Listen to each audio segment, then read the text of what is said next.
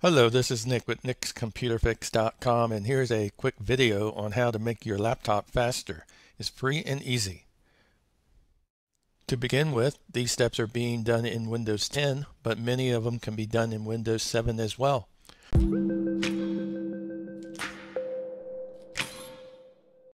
Okay, let's go ahead and get started here by jumping right into the nitty gritty of our performance settings within our laptop here.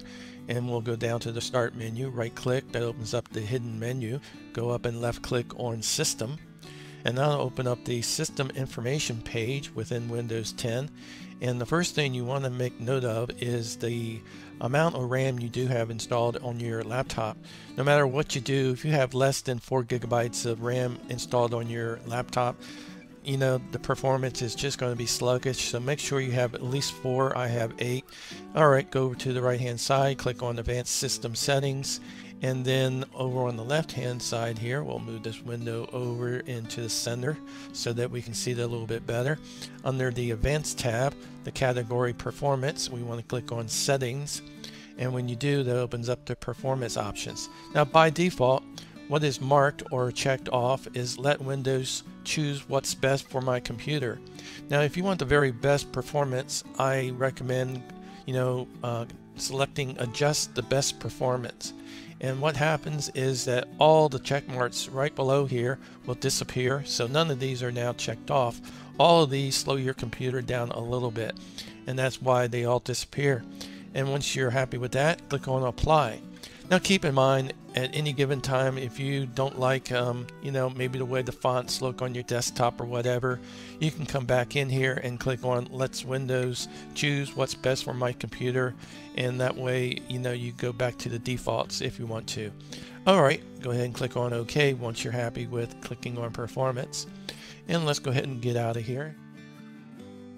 And next let's go ahead and optimize our power plan settings within Windows 10 by going down to our taskbar on the right hand side here and we'll right click on our battery icon and then we'll move up and left click on power options. And that will open up the choose a or choose or customize a power plan window. And by default Windows 10 has balance selected and that's pretty good.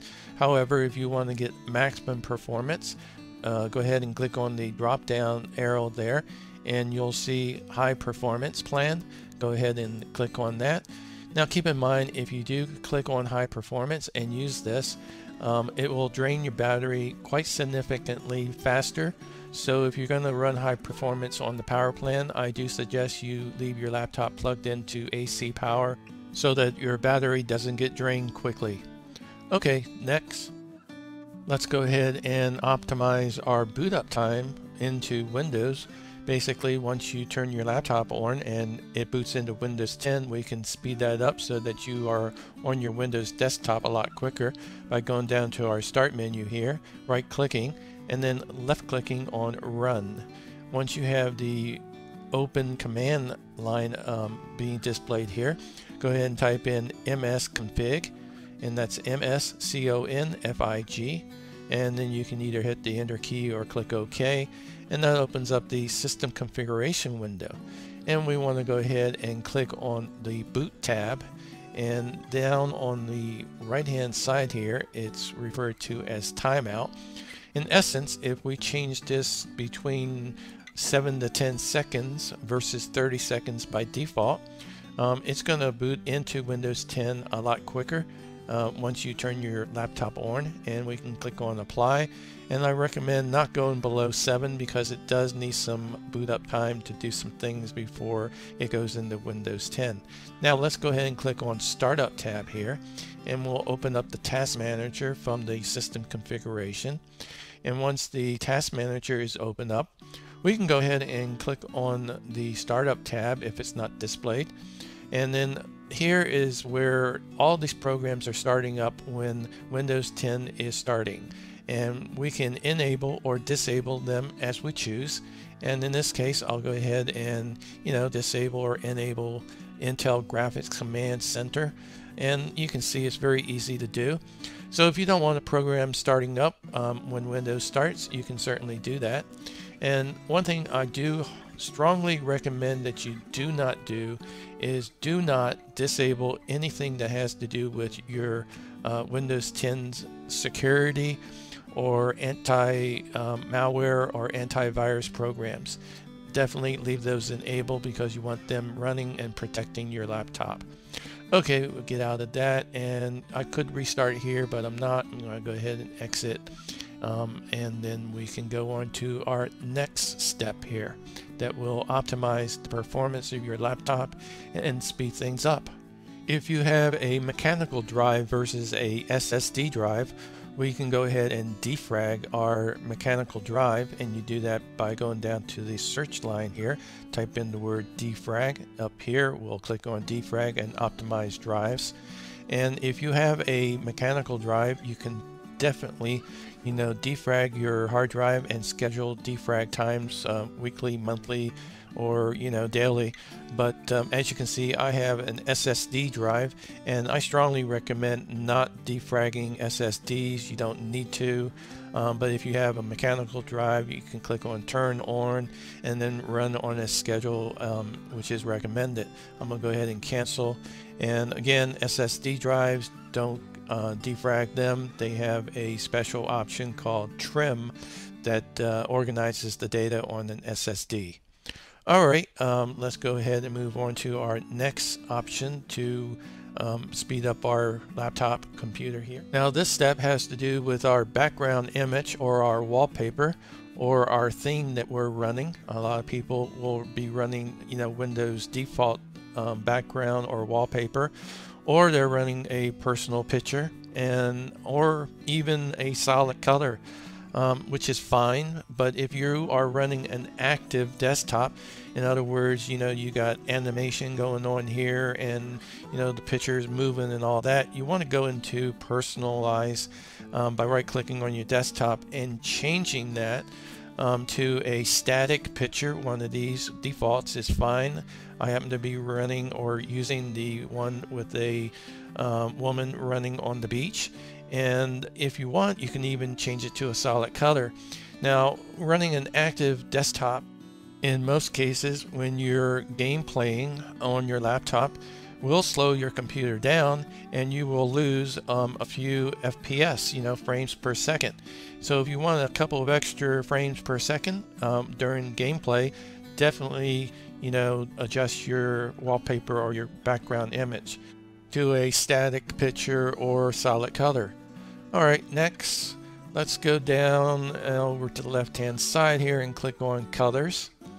And what we want to go ahead and do is move down here um, till you get to transparency effects and we'll turn this off.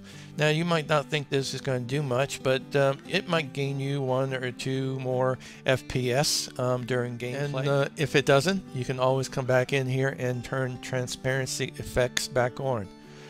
Okay, um, as you can see, I went ahead and left this as a solid color for a few moments, but uh, let's go back to my Windows favorite default uh, wallpaper, and uh, this is it, as you can see. And uh, we want to go ahead and go down to our Start menu and left click on Settings.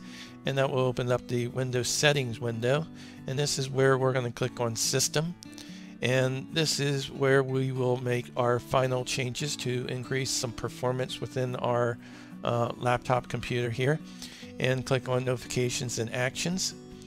And this is where we want to go ahead and take a look here. And if you don't want any notifications um, from your apps and other senders at all definitely just go ahead and uh, you know turn this off but if you do you can come down here and you know uncheck uh, get tips uh, suggest ways and show me the Windows welcome experience. Most people using Windows today really don't need those.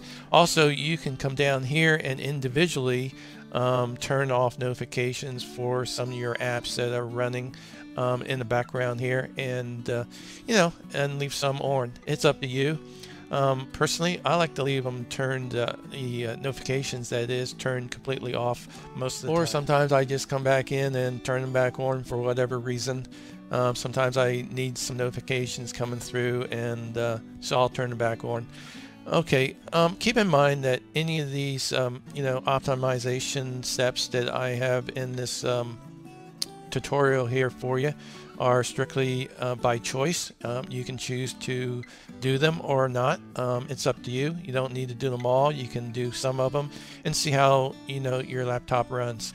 Okay, let's go down to our Action Center icon on our taskbar here and left click on it. And that opens up the Action Center and right here is where the brightness for our display is and it, it moves from left to right if you didn't know that already. But uh, I like to keep mine around 55 to 75 um, right in that area. Um, the reason I point this out is because you know your battery the brighter your display is the more drainage is on your battery. So your battery won't last as long um, on a single charge if you have the brightness turned all the way up also, your battery charge will last longer if you have Bluetooth turned off if you're not using it. And if you want maximum battery saver, definitely you know click here and you will um, be able to use your laptop longer between battery charges. Okay, um, that's the end of this video. Thanks for watching. Subscribe if you like, and leave a like if you like.